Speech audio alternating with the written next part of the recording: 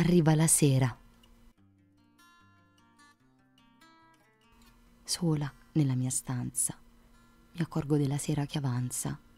Coi miei pensieri rivedo questo giorno, sempre uguale a quello di ieri.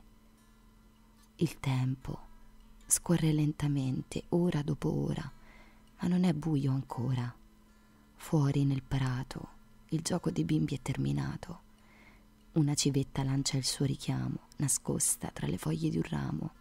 Avvisa che ha fame, che è giunta l'ora di andare a cacciare. Attenti, abitanti del prato, il nemico è in agguato. Il buio è arrivato. Per la notte si prepara il creato. Davanti al balcone si è acceso un lampione. La luce, il buio, si porta via.